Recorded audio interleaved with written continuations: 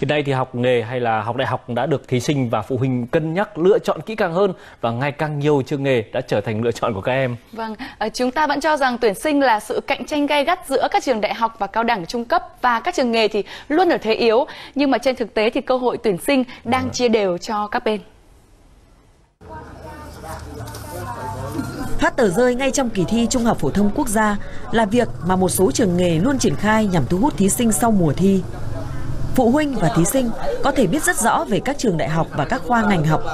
nhưng thông tin về các trường cao đẳng, trung cấp dạy nghề gì, làm việc gì, thu nhập bao nhiêu thì họ chưa quan tâm vì coi đó là lựa chọn thứ hai, thứ ba nếu không vào đại học.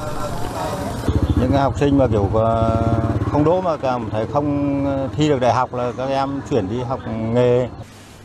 Không còn cứng nhắc tuyển theo chỉ tiêu mà nhiều trường nghề đã chuyển sang tuyển theo nhu cầu đặt hàng từ doanh nghiệp. Các trường sẽ đào tạo theo các chương trình mà phía doanh nghiệp yêu cầu bởi chính học viên từ lúc thực hành đến lúc tốt nghiệp sẽ vào làm việc trong chính doanh nghiệp này.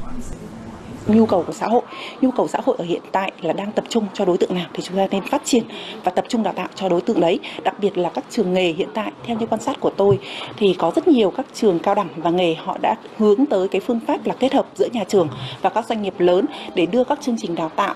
uh, sao cho nó sát phù hợp với cả thực tiễn và khi các bạn ấy ra trường là các bạn hoàn toàn có thể hòa nhập được với cả yêu cầu tuyển dụng của các công ty. Tâm lý người học đã bắt đầu có sự thay đổi. Họ không nhau vào đại học nữa mặc dù đại học đang tìm mọi cách để thu hút họ nhưng người học thì bây giờ họ đang có cái lựa chọn tức là họ tìm đến các doanh nghiệp hơn bởi vì à, một cái thực tiễn trong nhiều năm trở qua à, gần một một vài năm trở lại đây đấy là người học à, rất khó khăn khi mà tìm kiếm việc làm sau khi tốt nghiệp tốt nghiệp đại học. Các chuyên gia lao động cho rằng tuyển sinh chỉ là phần ngọn, phần gốc là đầu ra nếu các trường cam kết sinh viên ra trường có việc làm ngay thì sẽ tuyển sinh tốt,